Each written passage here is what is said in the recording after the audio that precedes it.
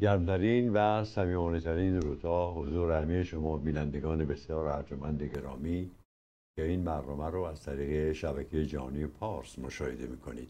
در اولین برنامه خدمت شما عرض کردم که گفتند بزرگان ما هنر برتر از گوهر آمد پدید. در برنامه گذشته با چند تن از هنرمندان تئاتر با دوستانمون صحبت کردیم. در فعالیتشون و کار نمایششون.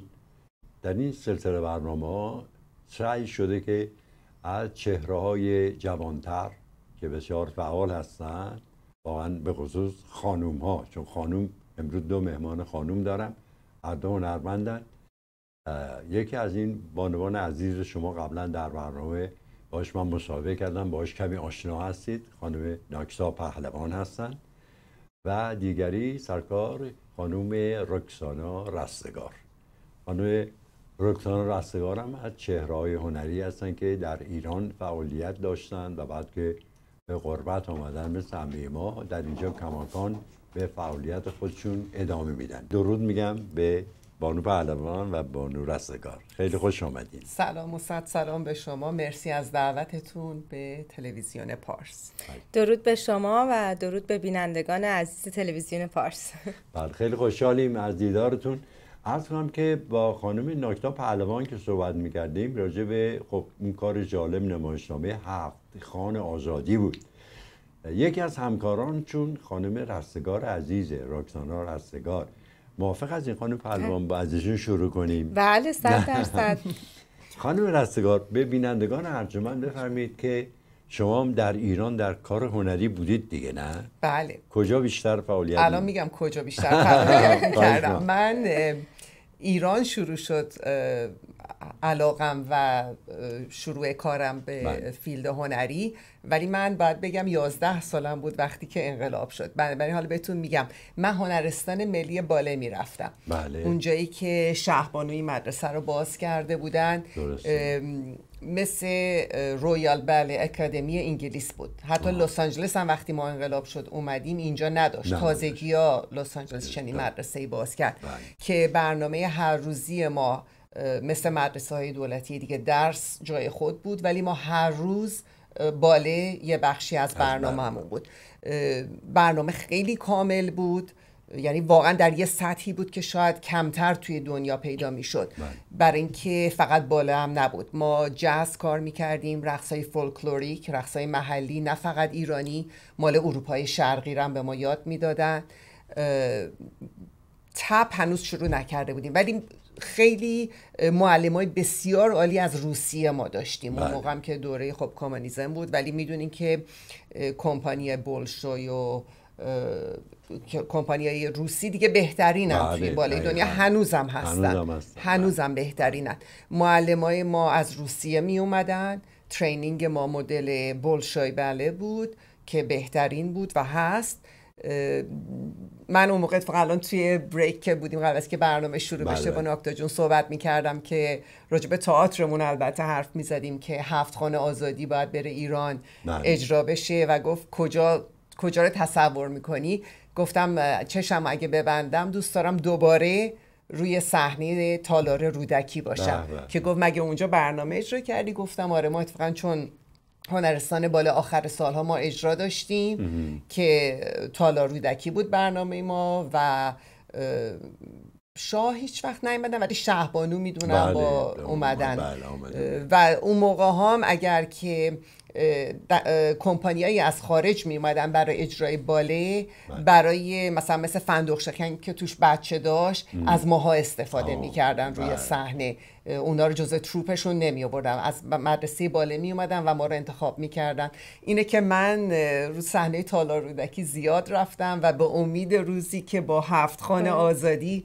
دوباره برم روی اون صحنه. اگر لالگون گشت ستار من نگریم که شادی کند اهرمن که ستار من پادشاه دل است اگر خفته اکنون به زیر گل است. سیاهی بپوشم به رزم و به جنگ نجنگیدن اکنون مرا گشت ننگ.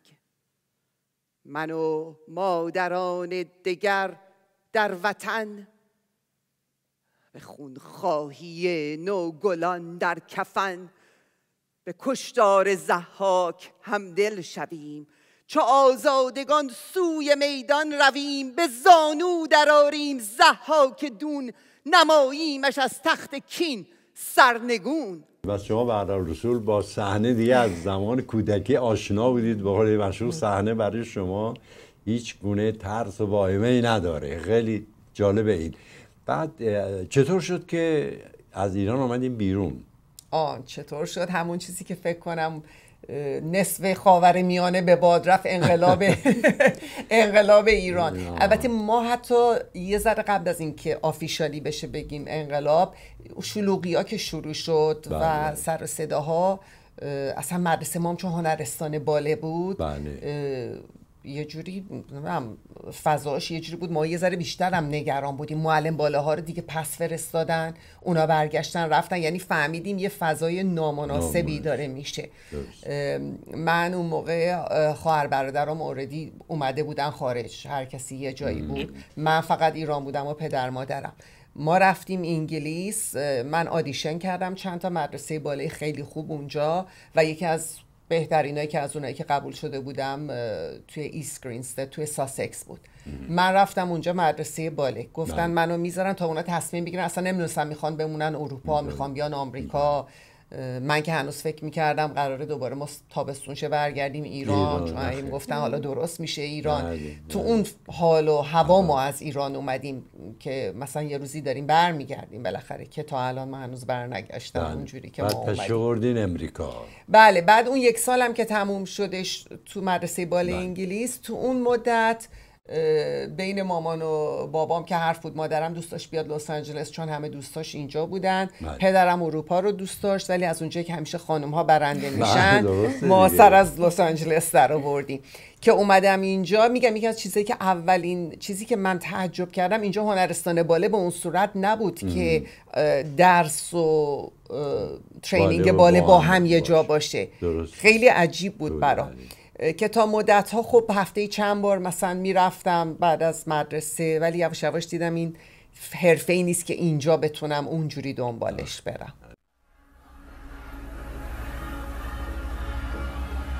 به نام خداوند جان و خرد که از او برتر اندیشه بر نگذرد خرد را و جان را که یارد ستود. وگر من ستایم که یارد شنود؟ خب حالا تا اینجا می‌خوام از خانم پهلوان سوال کنم چطور شما با خانم رکسانه آشنا شدید خب رکسانا جون که توی لس آنجلس میشناختمش از طریق کارهای هنری که کردن. تمام این سالها تئاتر لس آنجلس هم خودشون کار کردن و بازی کرده بودن و حالا هیچ وقت سعادت این نشم کار خودش از نزدیک ببینم ولی همیشه تعریفش رو خیلی شنده بودم. هم از لحاظ اخلاق هنری که داره هم از کار هنری زیبایی که اجرا می‌کنه هم از آقای کتانچی هم از علی عزیزیان. بله. که علی می‌گفت تو حتما باید یه روزی با رکسانا کار کنید. she's a blessing to work with. یعنی واقعا همین فارسیش میشه سعادت کار کردم باش که برای هفت خانه آزادی موقع که ما تصمیم به کار گرفتیم می‌دونستیم می‌خوایم این یه کاری باشه که این همبستگی هنرمندان باشه و خب ما اگه تونستیم تو الی اصلا کار تئاتر رو شروع کنیم و بتونیم انجام بدیم به خاطر کسایی بود که قبل از ما کار می‌کردن و بله. در واقع we stand on their shoulders روی شونه های اونا ایستادیم حالا منی بله. که بعد از شما اومدم میگم انگلیسی حرف می‌زنم و دیگه تماس گرفتیم خب اول نفر واسه من رکسانا جون بودش که می‌دونستم که می‌خوام حتما این افتخار خودم داشته باشم می‌تونم باشون کار کنم. قبل از اون ولی نتونسته بودیم هم دیگه کار کنیم. یعنی نیده بودیم هم دیگه. با افشین و علی توی کار اره. دیگه ای بودم. ولی یه تظاهراتی بود که بله. من رفتم اونجا همون موقع پولو دیگه بخ اون زن زندگی, آزادی, بود. بله. و افشین و علی و اینا رو که میشناختم یه تیکه کوچیکی روی صحنه اینا اجرا کردن. که خیلی تحت تاثیر منو قرار داد و نه فقط منو تمام آدینسی که اونجا بودن. بله. یعنی یه کار اون موقع همونجا گفتم چه کاری این بچه ها کردن. بله. اومدم بیرون افشین رو دیدم. افشین دیدم گفتم افشین چه کاری بود؟ اصلا الانم یادم بیفته همون حس به هم دست میده. افشین گفت این یه تیکش بود. ما اینو می‌خوایم کار کامل رو صحنه ببریم. اگر که دوست داری باها تماس می‌گیریم. که وقتی که با من تماس گرفتم برای نقش گوهر عشقی مادر ستار واقعا برام افتخار بود. یعنی اصلا در اون فضایی که اون موقع بودیم که هنوزم هست. ولی واقعا اون موقعی بودش که شبا اصلا تلفنامون رو بغلمون میذاشتیم تا پاشیم هی ببینیم از ایران چه خبر داره چی میشه و کاری از دست ما اینجا بر نمی بله، اومد بله. به خصوص مثلا منی که بچه بودم اومدم حتی اگه یه اظهار نظر سیاسی هم می‌کردم حس می‌کردم شاید نظر بیخودی دارم میدم. برای اینکه من که اونجا نبودم من که اونجا بزرگ نشدم من که تو اون شرایط نبودم. من نمی‌دونم اونا چه قیمتی باید بپردازن برای این آزادی که می‌خوان. اینه که برای من شخصا واقعا تنها راهی بود که یه جوری همبستگیم و همدلیم و با اون اتفاقاتی که توی ایران داره میفته بتونم ابراز, ابراز بکنم. و این فرصت رو واقعا این بچه ها به من دادن و این کاری که اینا کردن این همه ساله که من اینجا هستم بله. و خب کارهای متعددم کردم و دیدم زیاد و اصولا کارم زیاد میرم می‌بینم حتی غیر ایرانی من بله. خیلی بله. دوست دارم هرچی میادش میوزیک سنتر مارک تیپر و هر جایی میاد من میرم واقعا این کار یه کار unbelievably بود به خاطر خیلی چیزا به خاطر خیلی element هایی توش بود که اینا با همدیگه که combine شده بود. هماهنگ شده یه هماهنگی این element ها با هم یه چیزی روی صحنه می برد برد که خارج از تصور من بودش. بله. حالا اون element ها رو میگم یکیش مثلا چقدر دقیق این شخصیت ها زنده می شدن جلوی شما. شخصیت هایی که ما تو اینستاگرام با اینا آشنا بودیم بله. که همون روزانه ما داستانه اینا رو داشتیم دنبال می کردیم من اصلا نمی‌دونم چی جوری اینا خب فکر شما یه کار تئاتر میرین می‌بینیم مال شکسپیر چند صد سال پیش نوشتن و متن آماده است و بله، این بچه ها انقدر به روز این کار رو نوشته بودن.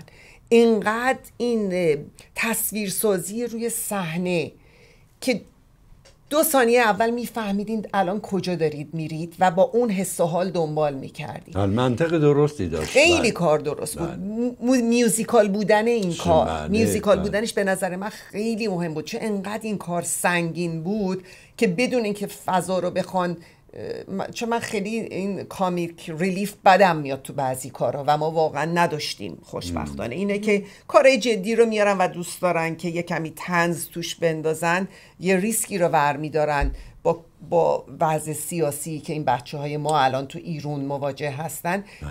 جای خنده نداره این اتفاق نداره و می‌فهمم بعضی این تکنیک رو استفاده می‌کنن چون میگم مثلا اگه چی همش فضا سنگین باشه ولی انقدر اینا زیبا این فضا رو در این حال که سنگین نگر داشتن با استفاده از حرکات و رقص بله. با استفاده از موسیقی و آواز اون بریکی رو که تماشاچی لازم داره که یه نفسی بتونه بین اینا بکشه رو اون فضا سازی رو کردن بدون اینکه مثلا چیپ بازی باشه و وسطش بخوای مثلا الکی به یه چیزی بخندی که اصلا فضای خنده نداره. چیز مصنوعیه در که ما تا اونجایی که به خاطر داریم اساتید تئاتر می‌گفتن تئاتر زندگیه.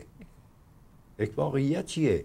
و اونایی که سعی می‌کنن البته که ایشون اشاره کردن یک کار جدی رو یه مقدارش تنزگونه ارائه بیدم خیلی عضو می‌خوام. بچون بیا خود پوله. بر چی مگه مردم اومدن بخند خب میرن تاک شو خارجی یا ایرانی می‌بینن همش کمدی میخندن. نباید چارچوب اونم مسئله به این مهمی زن زندگی آزادی حضور زنان و دختران جوان ایرانی که با دیکتاتوری دارن مبارزه می‌کنن. اون کدوم ایرانی با شرفیه که به این نمایش ببینه بعد بخواد بخنده؟ این جای بسی تاسف اگر کسانی کردن شما مطمئن باشین اونا دنبال کارهای تجاری بودن.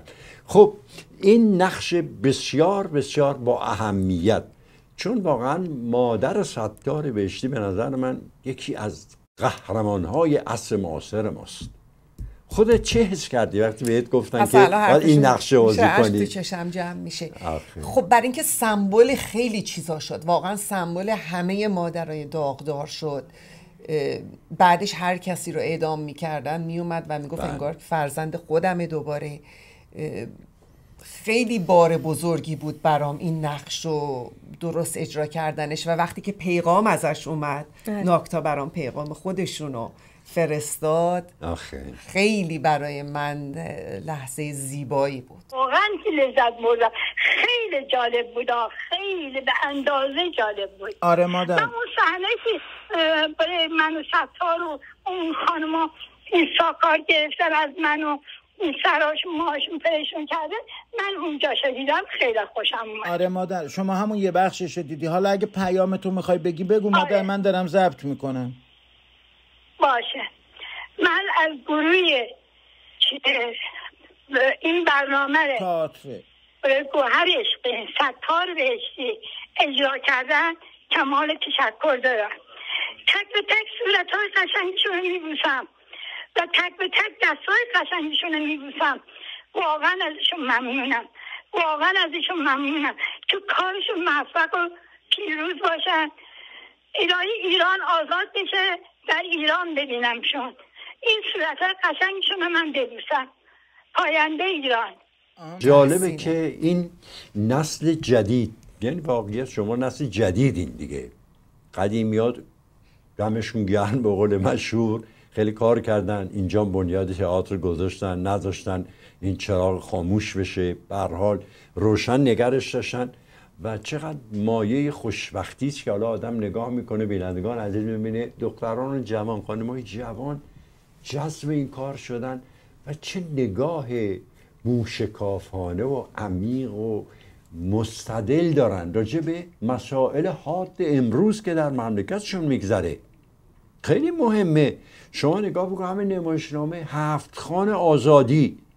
هم اشاره می‌کنه به گذشته پر افتخارشون و اون هر بزرگ استاد بزرگ سخن فردوسی که واقعا شناسنامه همه ایرانیات هم تطبیقش می‌کنه با این حرکت بزرگ قهرمانانه زنان و دختران پسران جوان ما که این گونه در اون نمایشنامه واقعا دستون در فوق بود.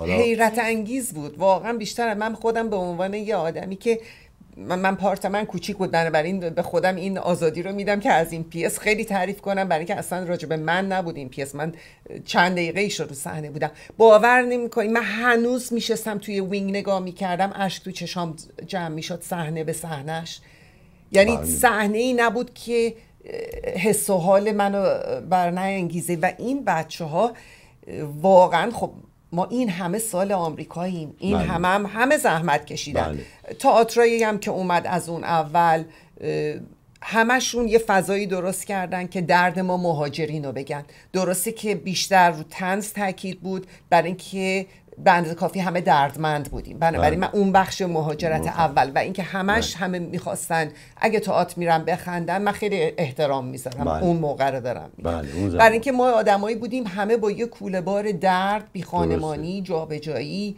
ناامنیتی از آینده خبر نداشتن و می‌خواستیم اگه اونجا میریم خنده ها هم اتفاقا همون مصیبت های تو خونه ها بود همون مشکلات تو خونه بود همون جابجایی ها مطرح می‌شد یه کسایی که با چند generation توی خونه با هم دیگه بله، بودن مطرح می‌شد. بله. بنابراین خب اینا خیلی مهم بود. ولی اتفاقی که اینجا افتاد این بچه های جوان اومدن. چند نفر بود این cast شما ناکتا؟ 25 نفر cast بود. 5 نفرم crew total سی نفر بودیم. سی نفر ببینیم با هم آره. همکاری کردم مضافه به اینکه الان شما اشاره کردید اون مال اون زمان و اون تنز اینا بود که واقعا گرفتاری ها بخوان. ولی وقتی یه حرکت ملی اینگونه در جامعه رخ میده که انعکاس جهانی داره دنیا واقعا به تحسین این حرکت قهرمانانی دختران جوان و فرزندان جوان ایران برخواستن حتی من اون دفعه خدمت خانم پهلوان عرض کردم که بعضی از هنرمندان متحد خارجی الهام گرفت از این حرکت انقلابی نسل جوان ایران. خب رقصهایی رو درست کردن حتی ترانه هایی رو اجرا کردن. بله. وقت من چطور من ایرانی بخوام یه اثر بیارم؟ ببخش رو صحنه نمایشنامه. بعد بیام اون جریان رو بهش جنبه تنز بدم.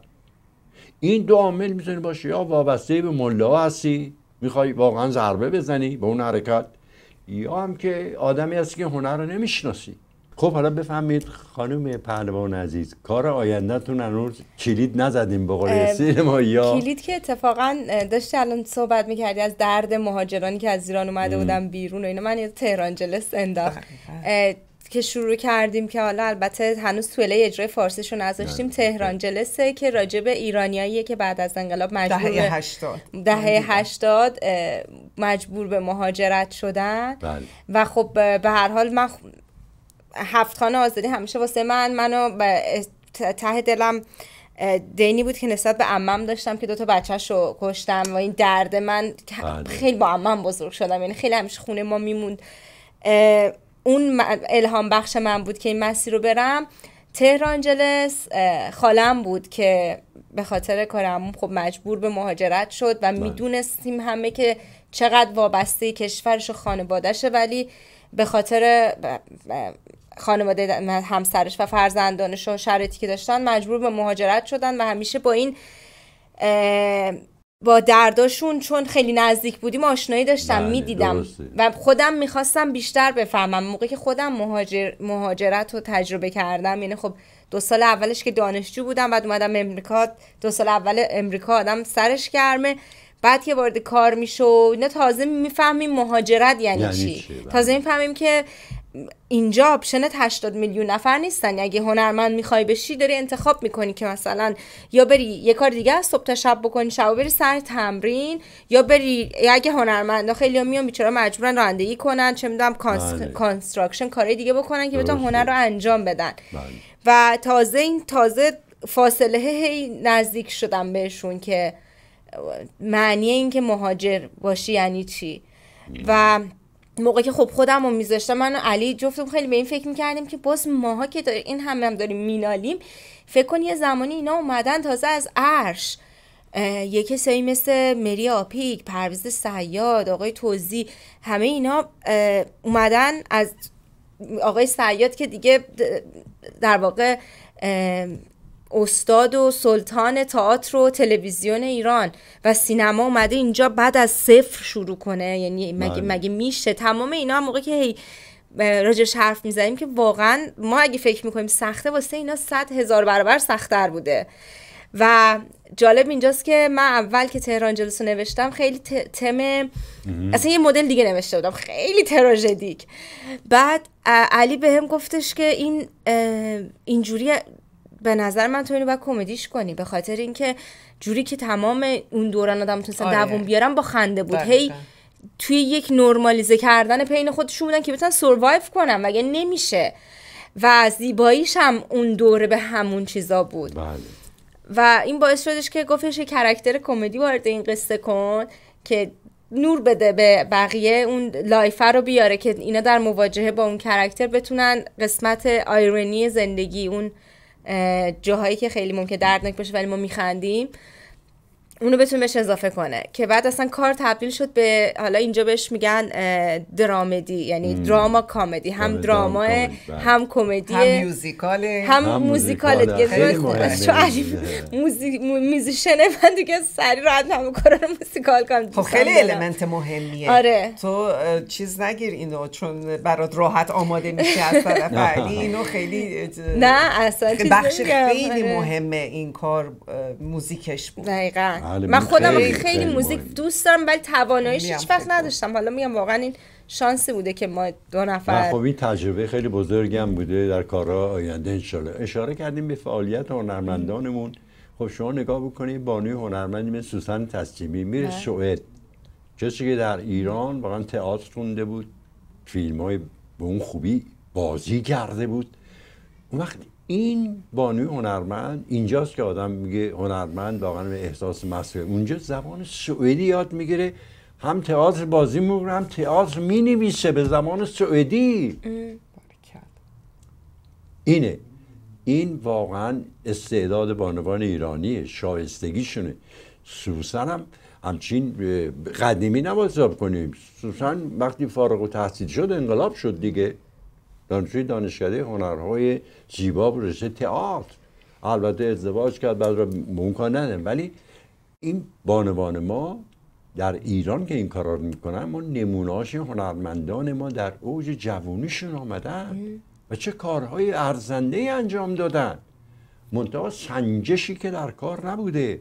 دهان به دهان گفته خانم رفته گفته به عجب کار خوبی. اون یکی. ما متاسفانه یک سخفی نداشتیم. خیلی مشکل بود. حمایت, کنه از هنرمندان ما. الان من بیشتر تکشم برای اینی که هموطنان هنردوست ما در قربت واقعا باید بیان حمایت کنن. کارهایی مثل هفت خان آزادی که به دلشون میشینه می‌بینن که آقا این دقیقا در راستای همون حرکتی است که نسل جوان داره انجام میده. از اینجا تو تظاهرات میرید دستاتون رو می‌برید بالا. خب اینام دارن همون نصر را اونا رو دارن میرن دیگه. خب چرا باید آدم بی تفاوت باشه؟ باید در این گفته هاست که بعضیا بله. فکر می‌کنن که درسته باید رفت حمایت کرد. نمی‌دونم نظر شما چیه؟ باید گفته شه صد درصد. من حالا چیزی که خیلی جالب به موضوع جالب و مهمی اشاره کردین. یه ایده که سال فکر کنم 2019 بود به ذهنم بله. اومد.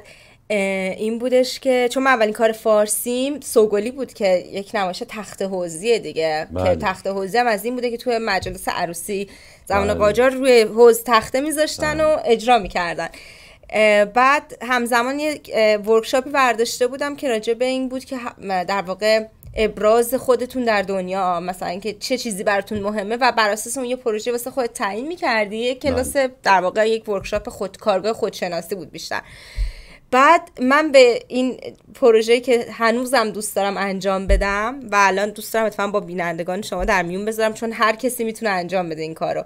اسمش هم گوشته بودم هوم آرت حالا هم هوم آرت هنر خانگی هم هوما آرت هنر ایرانی. و اینکه به تعداد همه سالهایی که ما تو خونه ها مردم حسینیه زدن تو خونه هاشون مجلس بله. روزه گذاشتن آخوند آوردن روزه بخونه دا بخونه به تعداد همون سالها همون خونه ها ما بعد خونه رو درشون رو وا کنیم. اگه واقعا عاشق فرهنگ و هنر ایرانی هستیم. و بگیم آقا ماهی یک بار اصلا فصل یک بار من خونم رو در اختیار فلان هنرمند می‌ذارم نقاشیاشو اکزیبیت کنه. فلان عکاس می‌ذارم فلان خواننده شاعر و دوستای خودم دعوت می‌کنم. قبلا مگه به اون روزخونه پول جمع نمی‌کنم پول می‌دادین. به دوستای خودتون تیکت بفروشین. ولی بذارین که منزل خودتون مکان هنر بشه. و بتونیم این تمام این خرابی که تو این 1400 سال وارد شده رو بله. بتونیم راه برگشتش رو بریم. خب بعد کارهای فرهنگی هم به حال هممون وظیفه داریم بله. آغاز بشه. خوشبختانه الان همین واقعا. یوتوپیا. یعنی من همیشه که داشتم تصور می‌کردم حرفا رو گفتم دیگه این یعنی بهشت روی زمین همچین جایی باشه. بله واقعا راست میگه. ببینید واقعیت قضیه اینه که الان نسل جوان ما خب باید اولا تشکر کن از این دنیای مجازی. چقدر ارتباط های ما رو نزدیک کرده. شما فکر نکنید الان در ایران این مثلا حادثه که در ایران رخ میده نه بلا فاصله دو دقیقه بعد شما می‌بینید انگار تو همون جریان هستید شما. برای که این بچه ها واقعا احساس مسئولیت می‌کنن. عجیب سریع میرن دنیای مجازی. یه زمانی بود که خب می‌گفتن آقا روزنامه باید داشته رادیو باشه تلویزیون. الان این دنیای مجازی واقعا اومده همراه شماست. هر جا میری می‌بینی ای هست. قدیم که اینجورگونه نبود. اگر این دنیای مجازی ما سال 57 داشتیم من به شما قول میدم آخون جرأت نمی‌کرد تو مملکت ما صاحب این همه نفوس بشه.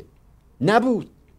احساسات حاد مذهبی همون روزخانا که اونو میومدن آخونده میومد هیچ که تو نبود. دم در روزش می‌خوند می‌رفت که 20 تومن شده تومن شو بگیری بره براش مهم نبود براشون پول مهم بود. حالا دیگه خانه های آنچنانی و لواسانات تحت اختیار آقایونه.